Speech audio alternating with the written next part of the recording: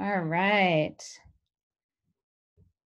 Sabrina from Oregon and Susan from Texas, Amy from Santa Fe, and Joe from Toledo. Welcome, welcome. Let us know also what kind of organization you're with. Megan from the animal shelter in Wyoming. Excellent. Nikki from Grand Rapids, Michigan. Wonderful. Okay, Eileen, if you want other people to answer your question, uh, which I will repeat, you need to put it in the chat box, not in the Q&A box. I don't think attendees can see the Q&A box. So um, Eileen wants to know if anyone has created an appeal for furloughed employees relief. Any suggestions are welcome. So go ahead and type those into the chat box for those who want to answer that. Excellent. Great, okay. And we will get started in just a couple of minutes. So welcome.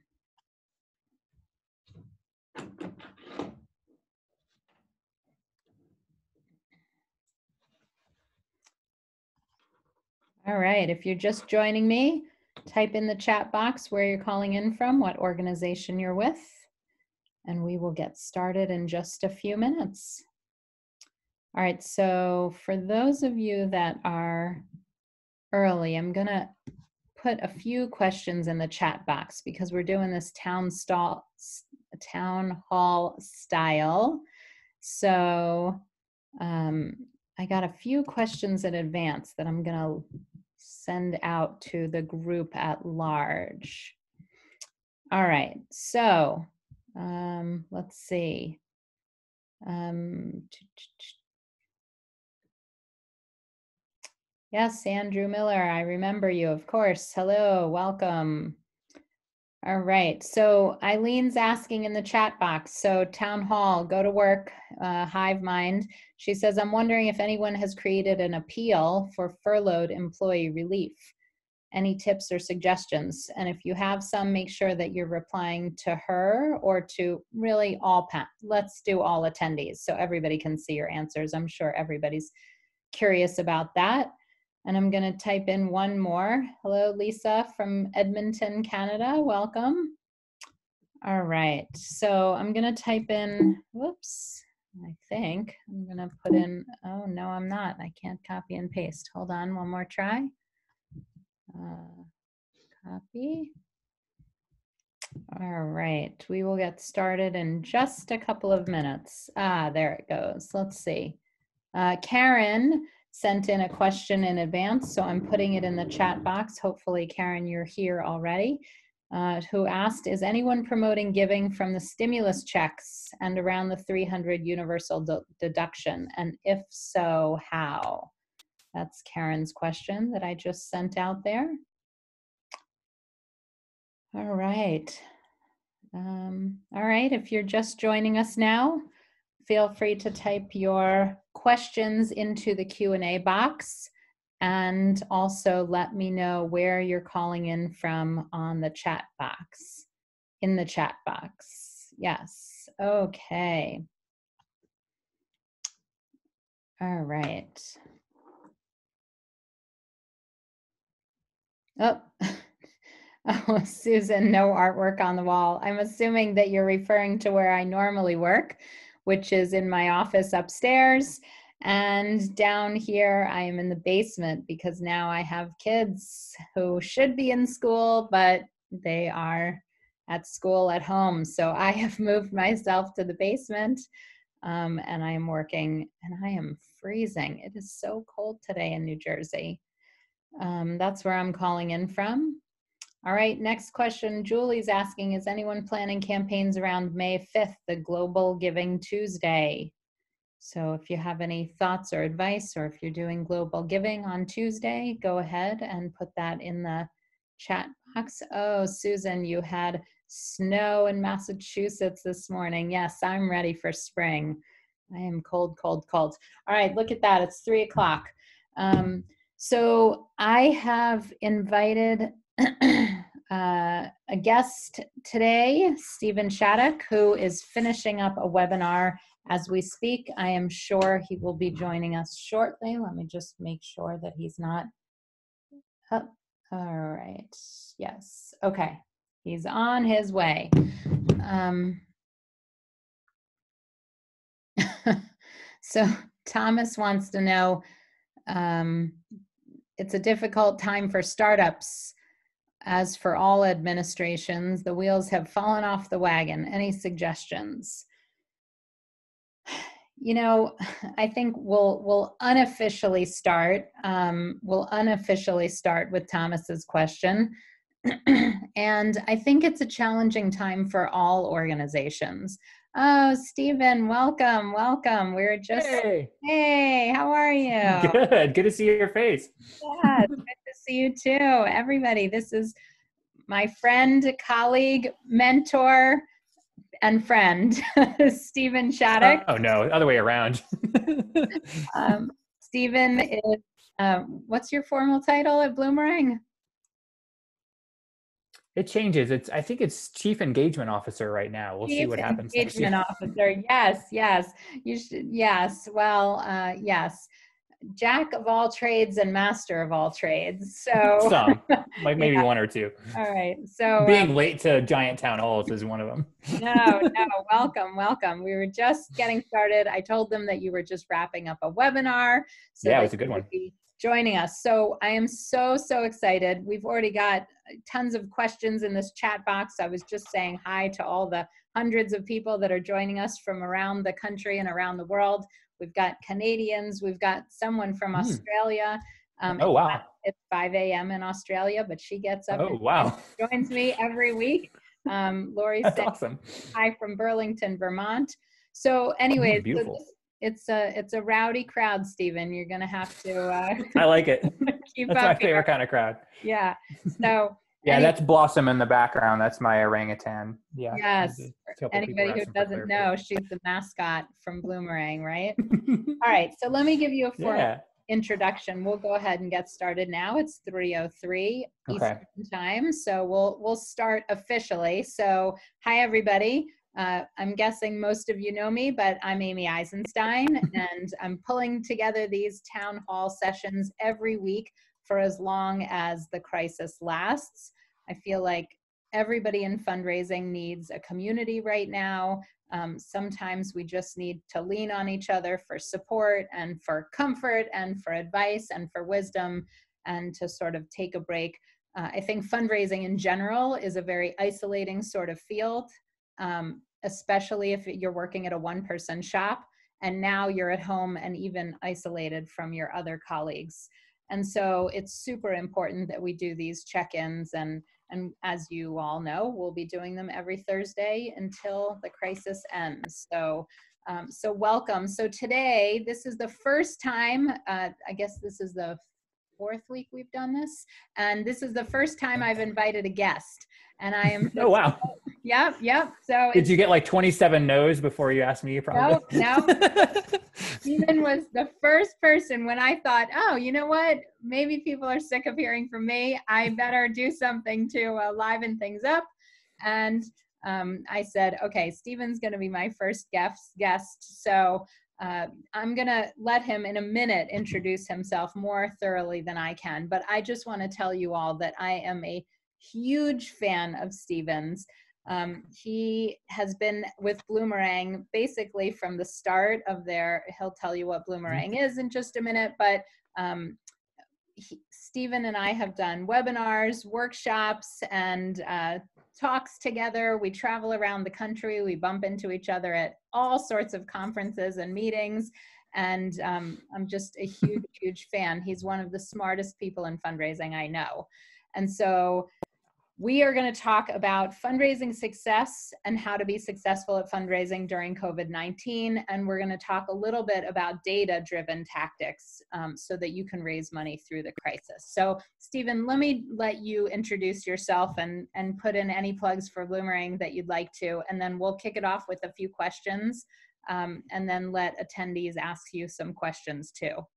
Well, that was pretty good. I don't know how much to add. I mean, I, I feel like I kind of hit the jackpot with my job. I basically get paid to to to goof off and and do webinars. Usually, I'm I'm on the other side hosting. That's what I was doing before this. We have a Thursday uh, webinar, although we've been doing webinars almost every day for the same reason that you're doing these town halls, just to to get that good info out. But um, lately, what I've been doing since I'm not on the road, um, sharing data like I normally, and I've, I've just been sharing um, successes from from our customers only because that's who I'm I'm able to really see and dig into the data. Obviously, they're not the only successful organizations right now, um, but um, just sharing that knowledge that hopefully other people can draw inspiration from and and and you know find something that maybe maybe will work for them as well. Um, so all April, I've been just looking, kind of creeping a little bit on on what uh, what folks are doing and, and what's been making them successful. So I, I got a few insights, uh, at least from from our customer base, of, of what they've been able to do to to raise money over the last you know 30, 45 days or so. Awesome. So we're going to get into that. That's going to be really valuable information for our folks. So just so everybody knows, so um, I don't know if you said this because I was busy reading the chat box. Bloomerang is donor CRM. Uh, yeah, we're a donor database. Yep. Mm-hmm. Yeah. And I have in the chat box, Eileen says, we're just moving to Bloomerang as we speak. Oh, nice. Um, so Good, welcome. yeah, so you know what? If you're already a Bloomerang customer, oh, so and Andrew says we've been on Bloomerang for 11 months. So if you're oh, nice. Um, okay, cool. Steven, can you see the chat box? Open up your job. I can. Yeah, I'm seeing those now. I just opened it. All right, great. So that's awesome. A lot of fans on the uh, on the line already. so let's go ahead and get started. So what do you think folks should be looking for in their database and that that would be able to ha- help them through this crisis and by the way Steven's so good um, yeah. he's going to answer no matter what kind of database you have so don't think oh we don't have bloomerang so this won't yeah. apply um, he's going to talk to all databases uh, all good databases anyways okay go ahead Steven. yeah yeah this will be agnostic um, the main thing is that they're they're not talking to everyone in the same way. So uh, this this crisis is is affecting lots of different people um, differently, and and this this is good advice no matter whether we're in a pandemic or a crisis or not. But if you are able to you know create little segments or cohorts of different types of donors and communicate to them differently than than others and not wildly differently just in sort of nuanced ways that just kind of shows people that that you're paying attention and reaching out to them contextually. So, for example, you know, your monthly donors, I think, are a really good cohort right now to maybe be reaching out to and saying, "Hey, we just we we so appreciate that sustained support. You know, you're a monthly donor. We're so appreciative of that. You're the lifeblood of our organization you know we just want to make sure you're doing okay that's a pretty good rule of thumb right now is to reach out to all of your supporters and just kind of make sure that they're doing okay before you thank them or ask them for money or whatever um, but that i think is the number one thing. And and but those cohorts to kind of answer your question really makes a difference of whether you're going to be able to move the needle. So monthly donors i think are a great one. Um, maybe major donors you know people that represent that 10 to 20% of your uh, top givers that are probably giving 80 to 90% of your total giving, making sure that you're reaching out to those folks and checking in with them and making sure they're doing okay. You know, same rules apply as, as perhaps the monthly donors. Um, and then, then kind of drilling down into um, other interesting groups that, that you may be able to say something to like volunteers, you know, you probably aren't uh, having in-person volunteers with you now, but maybe reaching out to them and saying, um, you know, we appreciate that you were a volunteer. Here are some other ways that you maybe you can help us virtually. You know, sharing our so, your so, social media posts, um, maybe doing some in-kind donations if you're still accepting those. But I think the main thing is making sure that you utilize the database, right? That it's not just this giant bucket of of of names and and email addresses, but that they are different types of people that you should be sort of contextually reaching out to um, in different ways that make sense for the type of supporter that they are. Yeah, absolutely. I mean, a few that you haven't mentioned, you started with your major donors, some of your biggest donors, of course, those are the obvious ones, and recurring donors. So, loyal donors looking for who not only just gives monthly, but also loyal donors in terms of your once a year donors who have been giving for 10 or 15 or 20 years. Um, and yeah. so, that's another cohort We also like to talk about recent donors. So maybe your first time donors yep. gave this year. So there's lots of different ways to slice and dice the data. Um, so Ed's asking, um, Steven, when we're reaching out, is it best by email or phone to monthly donors or some other way? What would you say to that?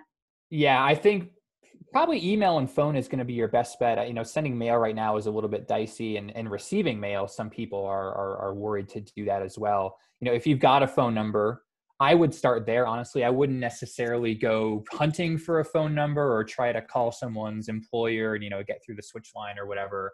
Um, but if you've got a phone number, uh, I think that would stand out. Um, I, am a monthly donor to about 13 organizations here in Indy, which is higher than normal. That's just because I'm a weirdo and kind of a philanthropy geek. But I, and I haven't heard from any of them. I, you know, and and that that to me is a little weird because I have been a monthly donor for so long. Um, and and I would love to hear how they're doing, um, maybe how their services have pivoted, and just that appreciation again for the monthly uh, commitment. But if you don't have a phone number, I think email can be just as good.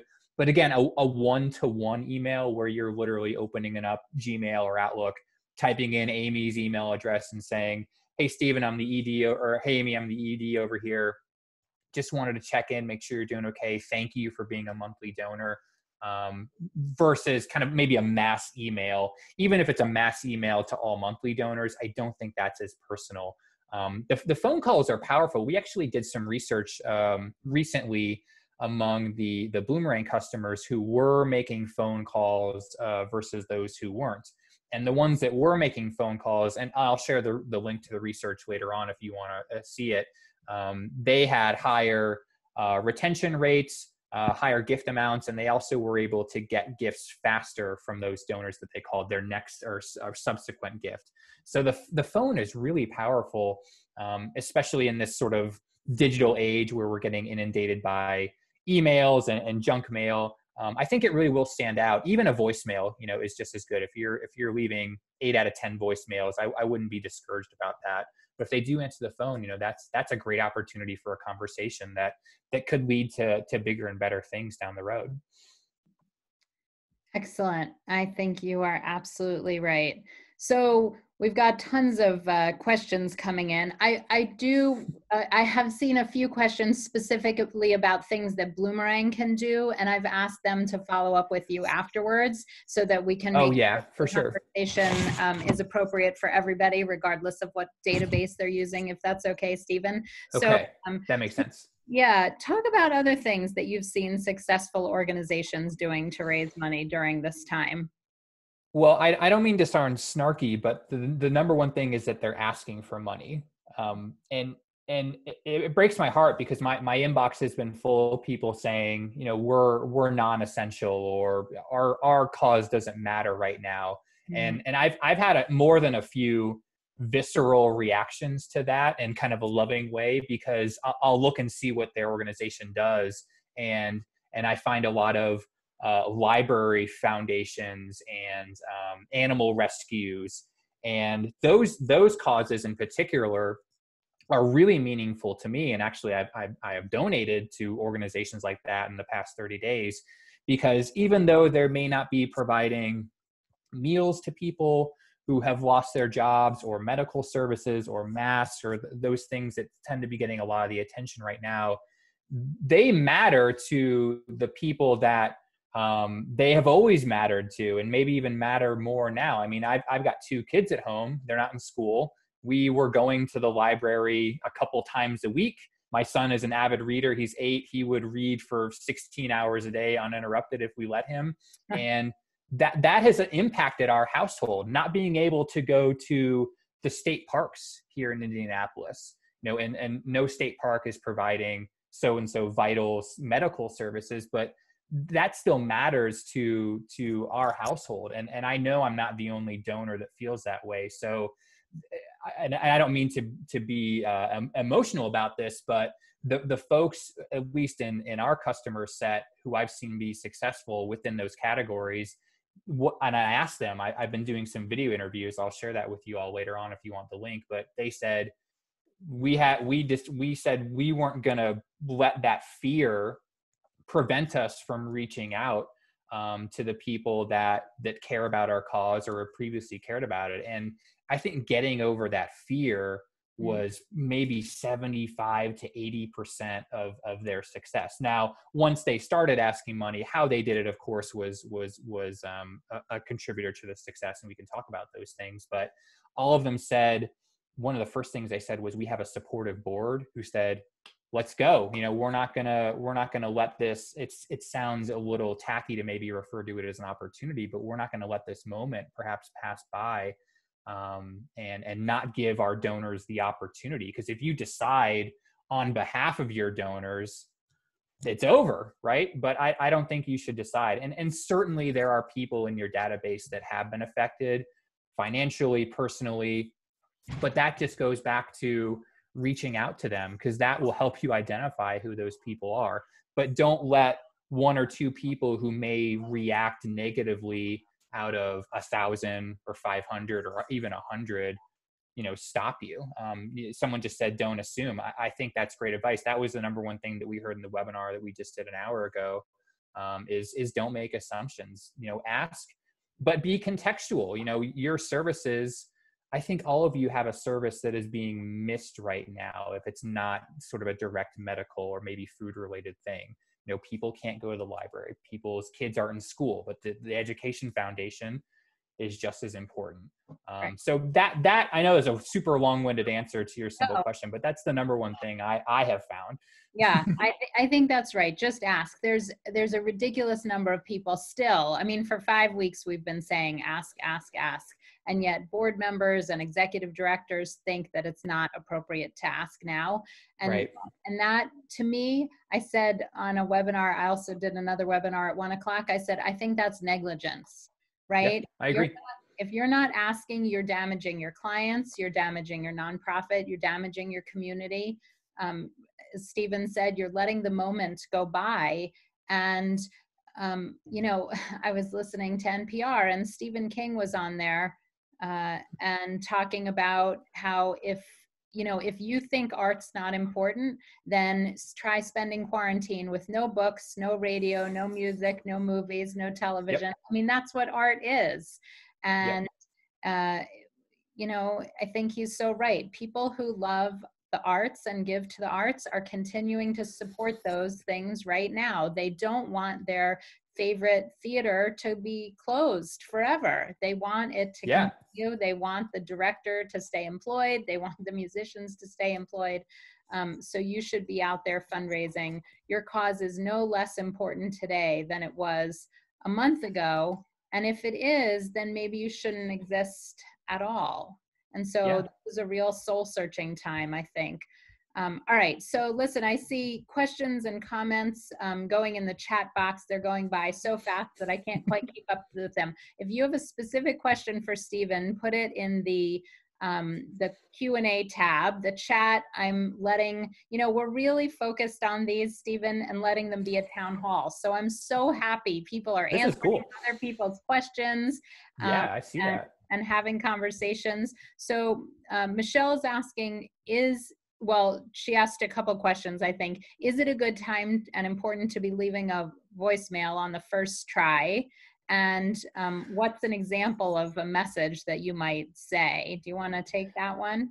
Yeah, I think a voicemail on the first try is fine. It, it may look a little little weird if they have multiple missed calls from the same number. Um, that's just me. That's my personal thing. That that that's not data driven at all. Um, well, I think voicemails everybody yeah. knows you're calling. So yeah, yeah. I think leave a message. Voicemails are great, and I think it's it depends on who you're calling, right? If you're calling a monthly donor, I think say, hey, we just, we're just calling to to thank you for being a monthly donor.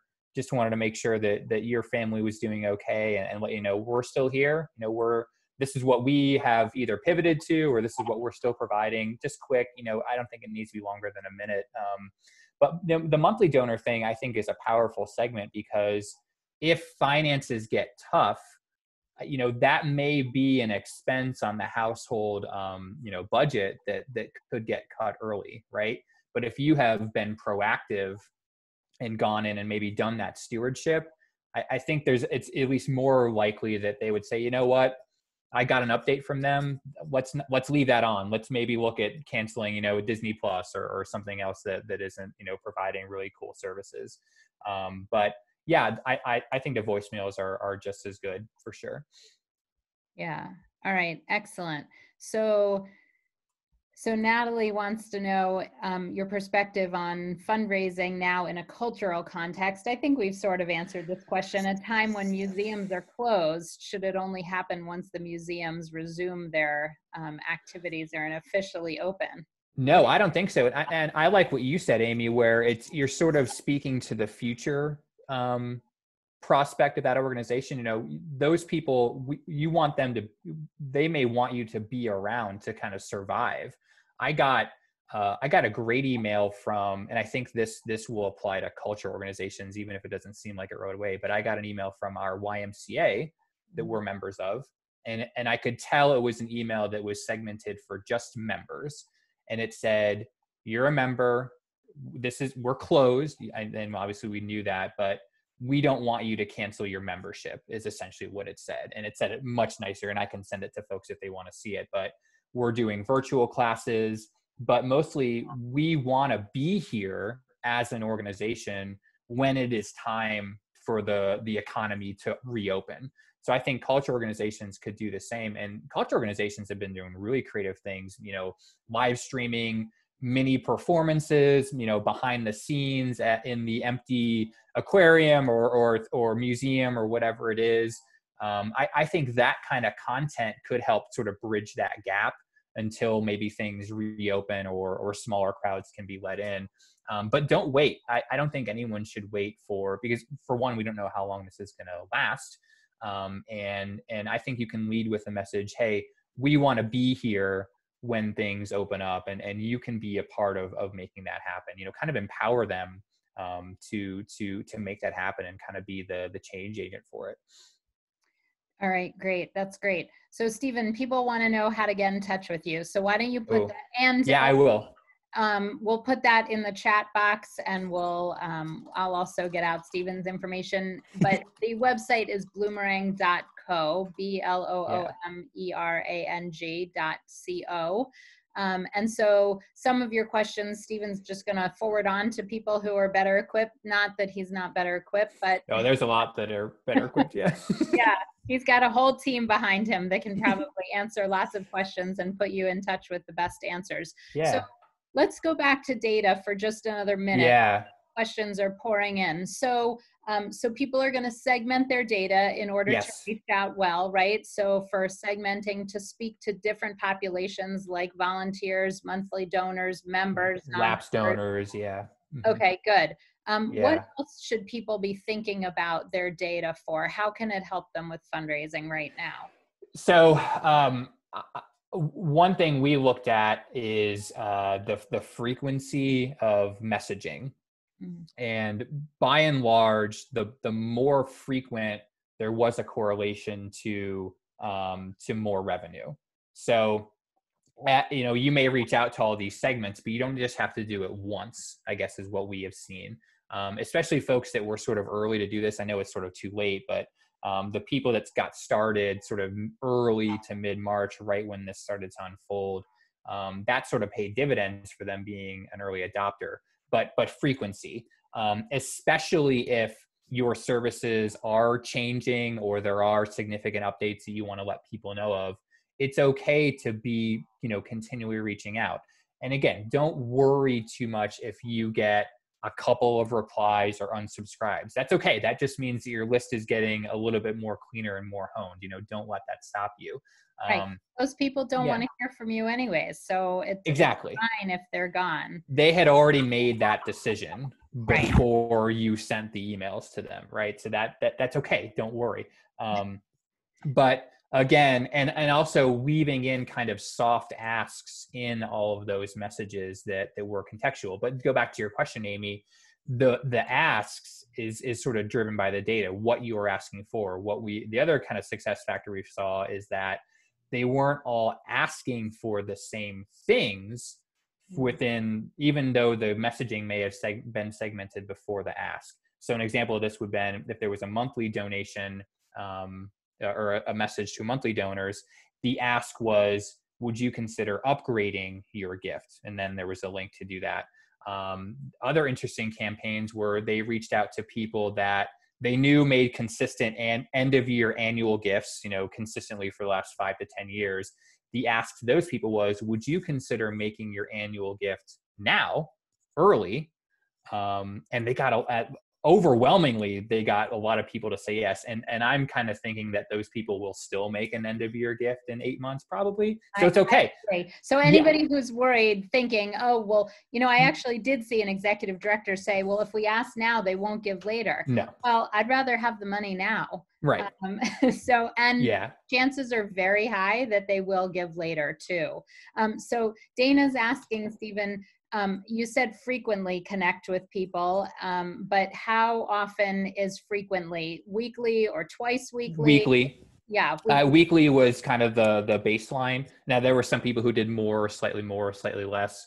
Uh-huh. Um, but you know, I think you'll find your sweet spot once you start going. Um, uh, you know, and and I think if you've got something to say that is urgent, I, I wouldn't wait for that next scheduled because um, you know don't be too legalistic that we're going to do every thursday but mm-hmm. if it's tuesday and you've got something pressing you know I, I, I would get it out there and you could decide you know do we still want to do the thursday email or not um, yeah. but yeah weekly i think is is a pretty good rule of thumb mm. um, uh, but you know your your mileage will vary for sure yeah okay good um, Erica wants to know if you have any thoughts or strategies for Giving Tuesday now. So there's a mm. new Giving Day, I guess, coming yep. up on May 5th, I think it is.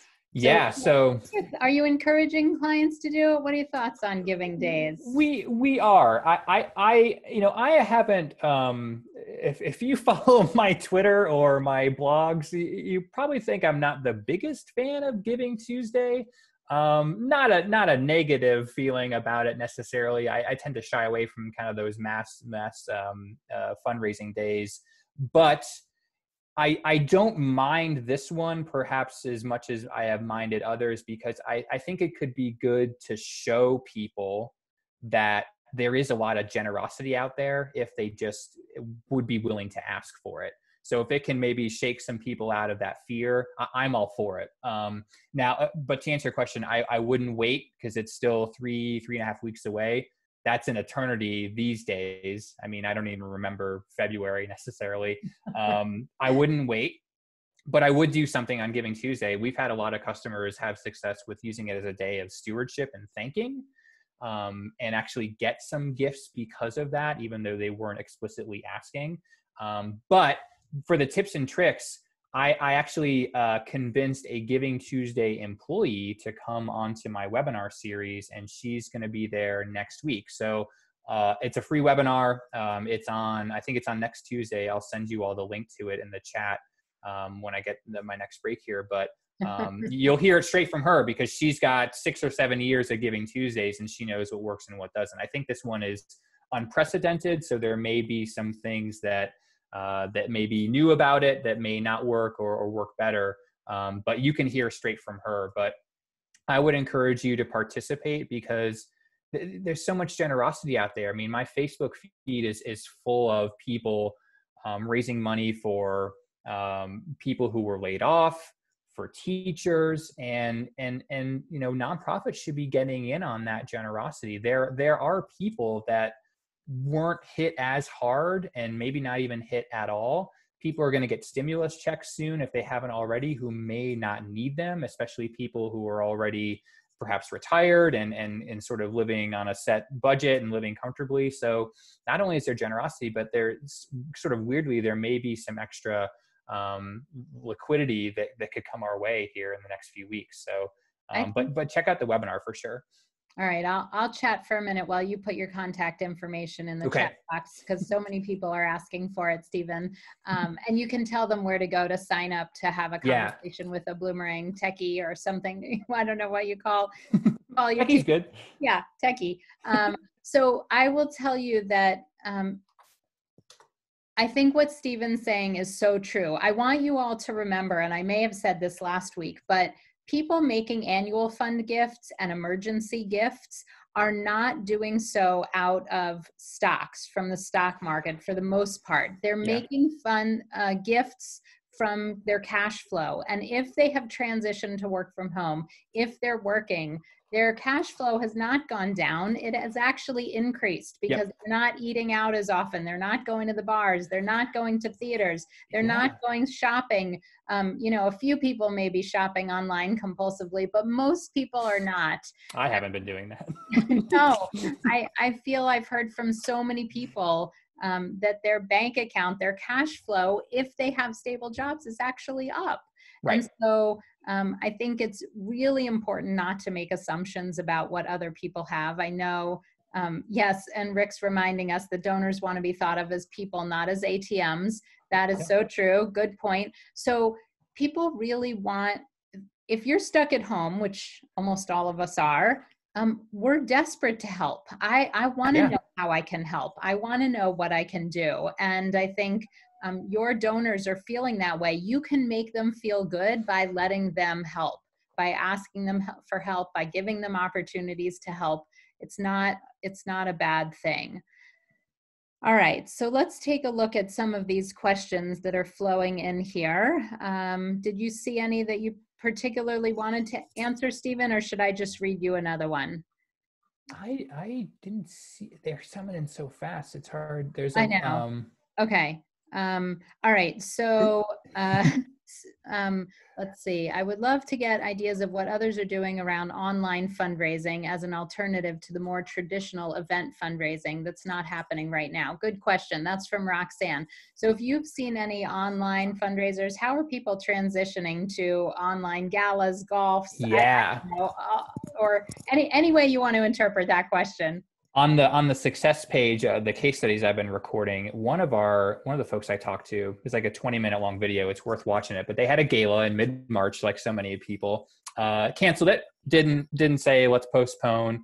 They they changed it to virtual but the format uh, was was really smart and they raised a lot of money. What they did is that between the date that they canceled the event and announced the cancellation and the date the event was going to happen, which was maybe like a 10 or 14 day period, they, in kind of drips and drabs, uh, sent emails that each uh, had uh, kind of a, a bit of a piece of content that they would have gotten at the event. So one email may have been a video with one of the speakers, and they were able to do a, a, webcam recording or a cell phone recording of what that speaker was going to say at the event. Mm-hmm. And so mm-hmm. they sort of doled out the content of the event it was maybe four or five speakers and a couple of maybe other things but you I'll, I'll send everyone the link so they can see it. But it was brilliant and every email generated revenue because they were showing off former service recipients they were showing off other thought leaders who spoke to the value of the organization. So rather than saying let's put 300 people on zoom and try to and have all the speakers come in and talk to them in that one or two hour period they just changed the event into email content and kind of sent it out in, in drips and drabs, which I thought was really brilliant because it was it gave them multiple touch points. that were very natural, um, and they they and people didn't cancel their um, their tickets. They when they canceled the event and when they announced it, they said, "Hey, we're still going to do the event. We're still going to provide you all those stories and, and the entertainment. They didn't say entertainment, but that's just kind of my word for it. Um, and then they got the additional donation. So I thought it was rather brilliant. And I, I think it's kind of hard to convert a gala to a Zoom meeting or a hangout or something like this. But if you can be creative and maybe um, communicating or distributing what would have been communicated in that event in another way, um, that worked out for them pretty well. I thought that it was pretty cool. Yeah, excellent. All right, so along we'll do one more event question and then we'll move on to other stuff. But Larry's asking, he's the executive director for a regional symphony, trying to mm. figure out how to advertise subscriptions for next season when next season is up in the air.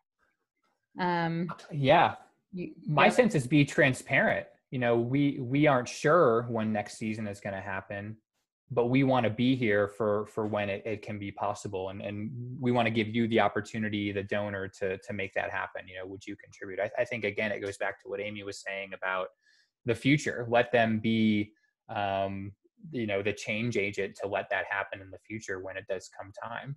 Yeah i think the other alternative i mean not to being transparent always be transparent oh, yeah. but, yes. but to me i mean you know plan plan your next season as if it's going to happen and Yeah. have a plan b. You know you need a plan b. So what can you do to you know get those subscriptions for your your service or your membership? And um, you know then you're going to have to have online concerts. Maybe it's a recording of that that particular artist doing something. And the question is you know you can say if you are willing to let us keep the tickets or the sponsorship we're going to do the best we can online. Um, and a few people will ask for refunds and you'll Yeah. issue them. But for the most part i think you should be planning for the fall planning for the future. Assume you're going to get up and running and have a plan b in your back pocket if you can. I'm glad you said that about the refunds because the, the folks, the the Bloomerang users who canceled events, who who said, "Hey, we can convert. We're gonna, we are going to convert your ticket to a donation unless you tell us not to." right And every time it was like five to ten percent of people asked for a refund. great So Yeah. you know, people want to help. Going back to what Amy said, like they want to help. Yeah, I think that's absolutely right. So um, Michelle was talking about how to get in touch with snowbirds who are not in your town anymore. To me, now virtual, all of this virtual stuff makes that irrelevant. You're going to reach out the same way to your next door neighbor as you are to someone who's in Florida or California. You're going to do email, you're going to do phone calls, you're going to do video chats. So honestly, this this time um, makes that completely irrelevant. They, th- you could see your neighbor next door just as much as you see someone who's 10 states away, I guess. Yeah. right? Absolutely. Um, all right. So I don't know. I don't know if you want to cover this one, Steven, and you can try. pass if you want. But uh, Jill's saying so much discussion discussion in the chat box about planned giving appeals. Do it or not do it. Yeah, so there um, there was a great white paper that just came out from um, Michael Rosen and um, um, oh, his name is escaping me right now. Uh, Russell James. yeah.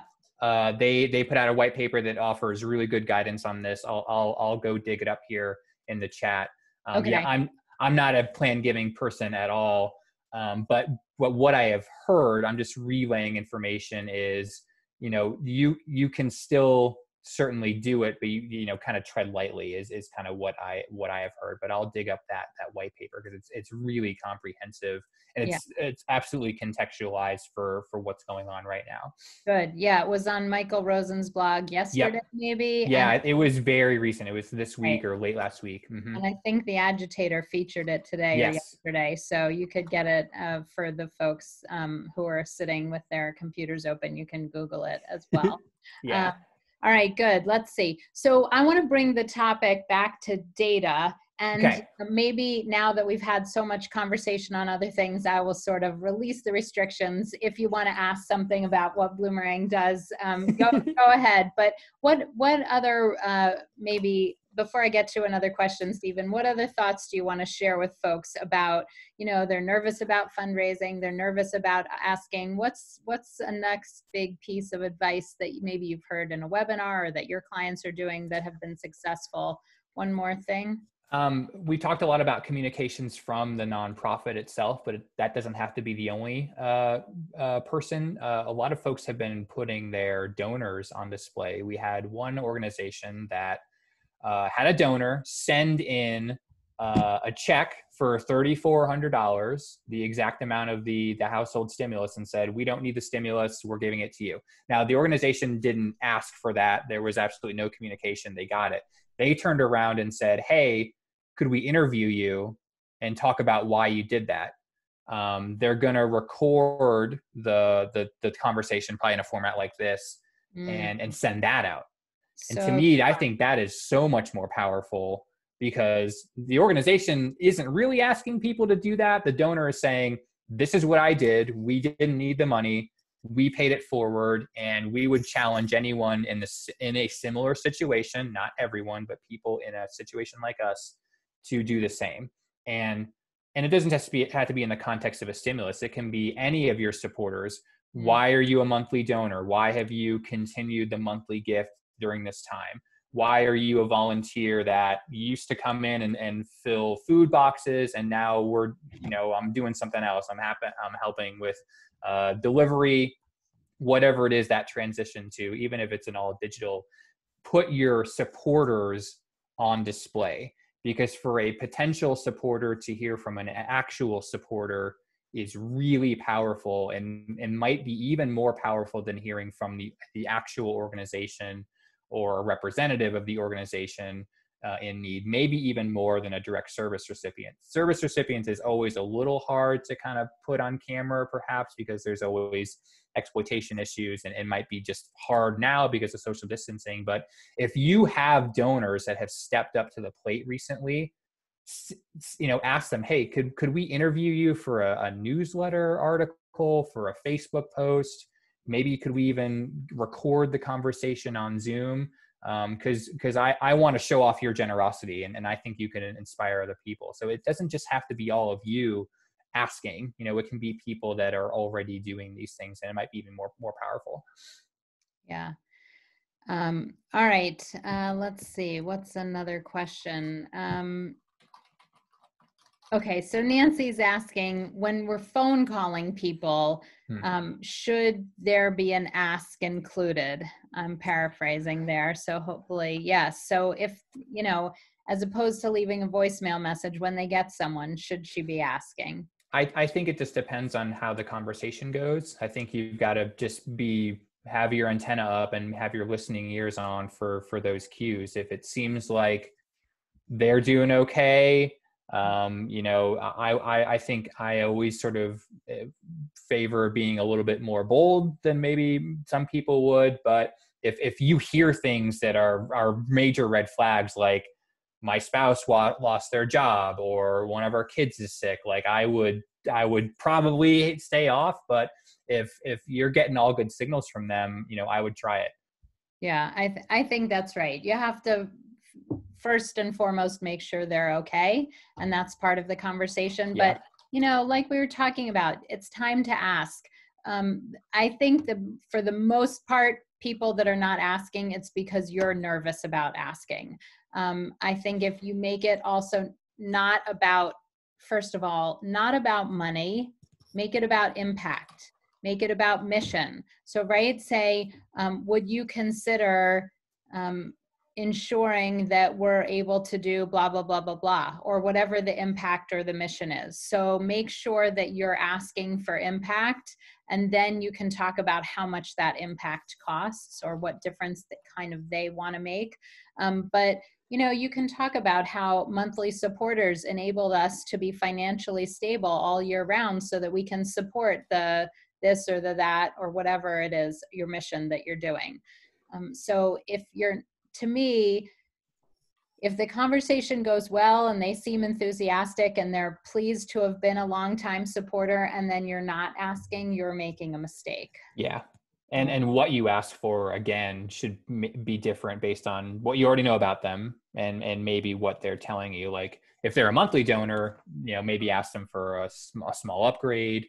If they are a, a long time annual donor maybe you know making that annual gift early uh, I, th- I think that's a really good ask right now is is to kind of front load the the year end gift if you if you know that has occurred in the past yeah that's interesting or get them onto monthly giving if they've yeah. been a one time you know all yep. of your donors who give a hundred dollars you should be asking for twenty dollars a month yep. which would more than double their gift. Oh, oh, no. The lifetime value. Oh no, I totally the lifetime value like exponentially. I, the the lifetime value of a five dollar a month donor is like a thousand dollars. So if you get a twenty dollar, I just do the math, but it, has got to be multiple thousands of dollars. So yeah, uh, that's an awesome ask as an upgrade to a monthly. Uh, right. Just think, you have someone who gives a hundred dollars at year end but $20 a month is $240 so just yeah. by getting them to yeah. go and if they can give $100 at the end year end they probably can give $20 a month without yeah. any trouble at all yeah. and you've more than doubled their gift and um, their retention rate goes from 45% to 80 just because you get the the credit card number or ach or whatever it is Okay, so I just want to make sure that everybody understands what Steven means by that. Getting, right? getting into some math. Well, So um, I'm wondering how many people on the call know their donor retention rate, oh yeah, this is my favorite. right? So give us a yes, no, yes, or I'm not sure. I don't know. Um, good, Daphne. Oh, you yeah, know what lots of yeses. That's awesome. I'm not Yeah. surprised. This is a sharp group. If they're Yeah. yeah, forty three percent. Okay, I'm even seeing some numbers. Nice. Yeah, excellent. Yes. So donor retention rate are those. Wow. donors you keep year after year after year. Yeah. And um, yes, so we saw some flashes that if you have Blue Seventy percent. They sh- you need to interview that person next week, Amy. Yeah, Let's- let's 59%. right? So listen, what Steven was saying that whatever your donor retention rate is, how many ever donors you keep from year to year, first of all, goal number one to try and increase that. So figuring out what you can do, what kind of stewardship, what kind of cultivation to make sure that you're getting those numbers up. Yeah, we've got some people on here with great donor wow. rates. Um, awesome. and so, but the point is that monthly donors, their donor retention rates are significantly higher because the number, they don't cancel basically. No. You know, once people Nope. sign up to be a monthly donor, they do not cancel unless the credit card expires. Yep. Um, and so, if you can be on top of that credit card expiring and uh, get in front of that, then it's very unlikely that they are going to um, uh, cancel. Now, you know, we're seeing a, maybe the cancellation rate on those is going up a little bit in these Yeah. times, but um, I'm still not worried about it at all.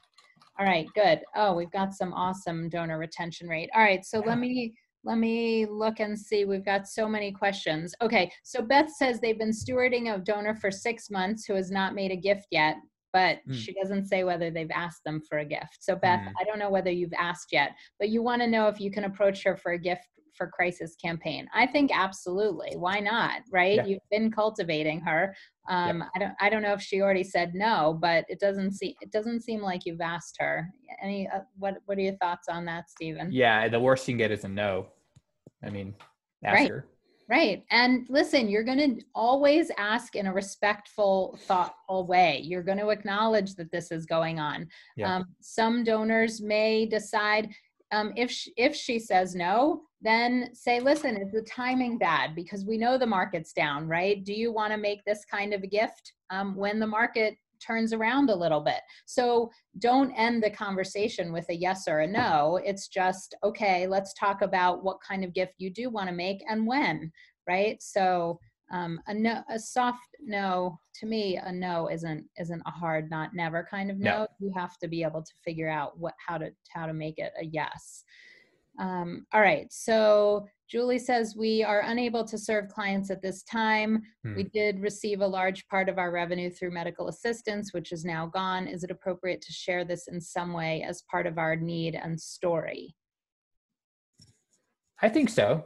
I mean, if, if you're in crisis, I, I think that's a compelling case for support. Um, so, you know, going back to the transparency thing, um, yeah, I, I, I- I wouldn't shy away from leading with that, certainly. Yeah. So I, you know, under normal circumstances, I would say, you know, you don't want to come at fundraising from a p- position of desperation. Right. You don't ever want to tell donors, you know, help us keep on the lights or help us keep the doors open because we're going to be shutting them next month.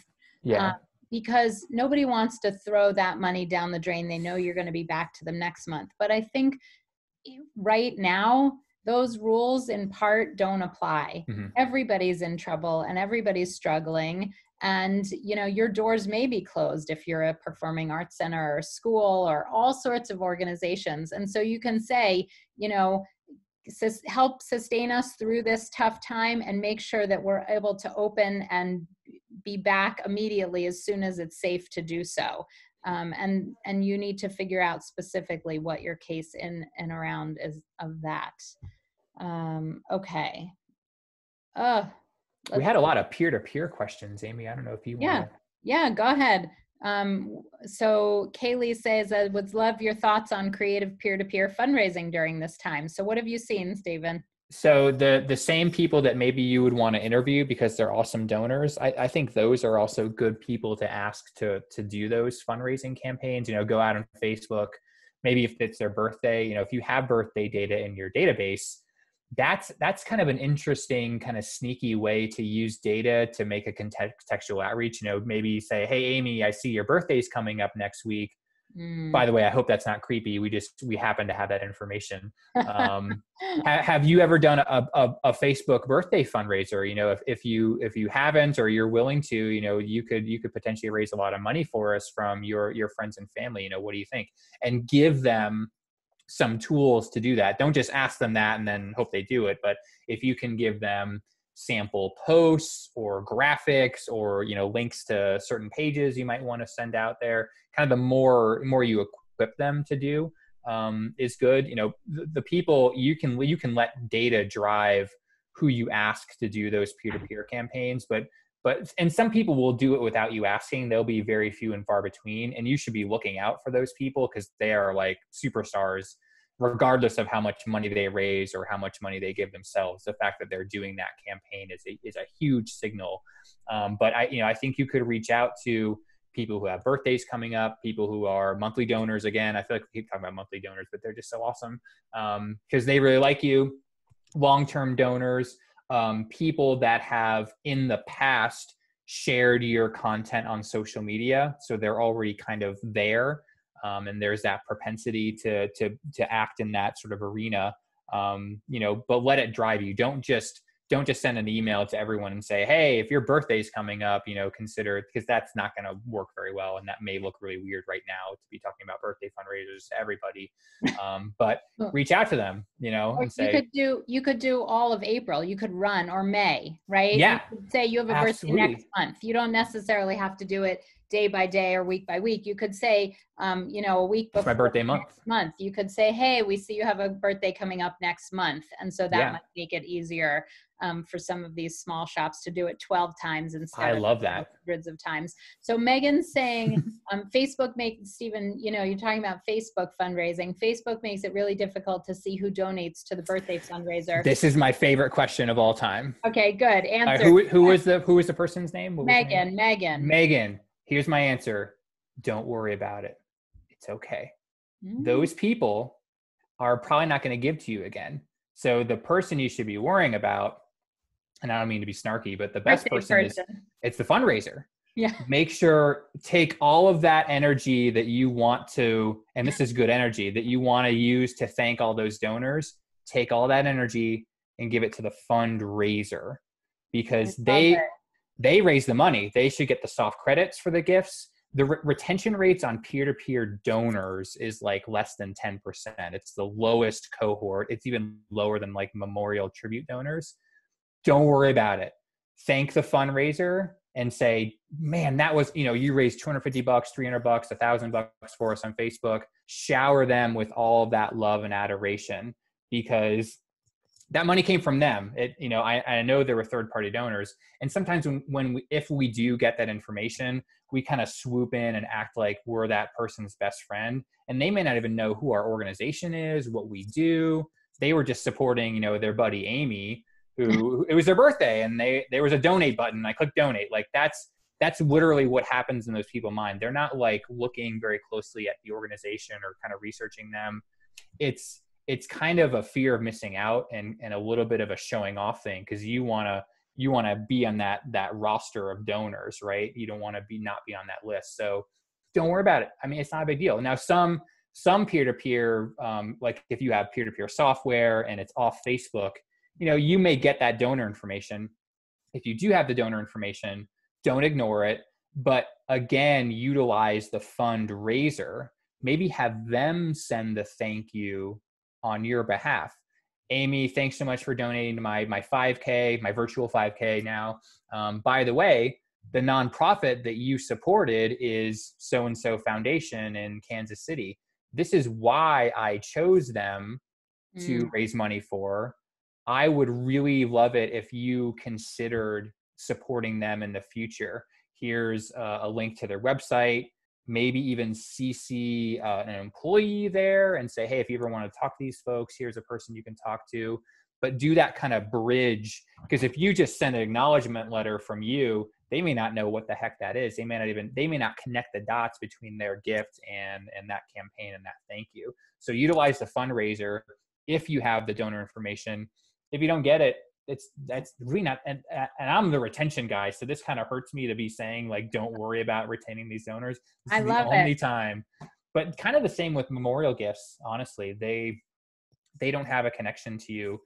You may be able to convince one percent of them to to continue to supporting you, but I, I would worry about the fundraiser and worry about trying to get more fundraisers out there um, than try to um, hold on to the donors that, that give to those campaigns. Yeah. It's kind of an unpopular opinion. Not a lot of people think that way about peer to peer, but I just I say, love it. I, I was surprised by your answer. yeah, I know because That I'm, made- I'm that made it even better because you're so um, definitive about it too. Like there was no question in your mind about it. And since uh, Steven pays attention to the data, we're going to take his word on this one. I, I think once you explain it, it makes perfect sense. And you know, it does sort of hurt to think you're not going to be following up or cultivating donors, but those aren't really donors. They're they're mm-hmm. not giving to you because they Yeah. care so much about your organization. they're like diet donors. They're like they're like off-brand do- donors. Kind of. They're well, they're just like giving their friend a birthday present. Yeah. Instead of giving their their friend a birthday present. But so, the thought is good. Like the heart's in the right place. You want to thank those people and, and hold on to them. But the technology just makes it, it, it just it kind of stinks. It makes it hard. yeah. All right, brilliant. So here's how we're going to wrap up. Um, we've done this at different places in the webinar every time, but in order to convince your boards and your executive directors, if they still need convincing that they should be fundraising now, we want to see some examples of money you've raised in the last two weeks. So for those of you that Oh, have gotten gifts, who've gotten new donors, who've re, uh, gotten lapsed donors back, um, tell us your organization because sometimes when we do this, people say, well, maybe they're just healthcare organizations or maybe they're just food organizations. So Yeah. I want to hear from everybody. You know, just let us know one gift that you got that you've gotten to goal. Okay, so $35,000 from the Robin Hood Foundation. Wow. Awesome. Two new donors sending in their stimulus checks. Go, Amy. Okay, $5,000 from a donor who was looking forward to our paddle raise and didn't want to wait to the rescheduled gala. Oh, look at these. All these um these awesome awesome gifts coming in. Um 25,000 from the Vancouver Foundation. Wow. Uh, service dogs, $5,000. 50,000 gift today who said no to them a month ago. Kaylee, you're our winner today. Good for Kaylee's you. my hero. Wow, that's Um, awesome. That is awesome. All right, so a social justice organization just raised, oh my gosh, they're going so fi- by, by so quickly. I lost it. $2,000 um, for one of our parks, thanks to the Caterpillar Foundation. 25, 250,000 match for a donation dollar for dollar for a Whoa. family clinic. Um, 5,000 in annual renewal. Yay, $10,000 major donor. Oh, a $10,000 just gave $35,000. Um, if I read that right. wow. Uh, 500 from a new board member who recognized times will be tough. Oh my gosh. And they, oh my gosh, the, the list goes on and on. You guys, I love finishing on this positive note. So a virtual uh, clap and thank you to Steven for being here today, Oh, for yeah, this, is, us. this is fun for me. All right. So Steven, one more time, put your um, contact message Yeah. uh, stuff in just because it's going by so fast. Okay. We can send it out for sure to people. Um, so, Yeah, and, and all of you can email me anytime. Um, yeah, I, I love it. So all right, great. Steven, thank you so much for being here. Look at these. They're still coming in. $6,000 6,000. last week in response to our very first email appeal, their only email appeal. That is wow, awesome. that's that's pretty good for one email. That's awesome. Wow. and and for a first time email, Yeah. thousand dollars. That's great. Um, th- so this is just more and more and more proof that you guys should be asking and asking and asking. Five thousand dollars unsolicited gift due to COVID nineteen. Twenty thousand dollars in fi- five days to our relief fund from Pamela. Andrew says a $10,000 grant from a STEM foundation who originally turned them down. Look at this, all these fundraisers. Um, so you've got to ask. So thanks, everybody. We'll see you next week. Bye, guys. there. Stay healthy. Thanks, Steven.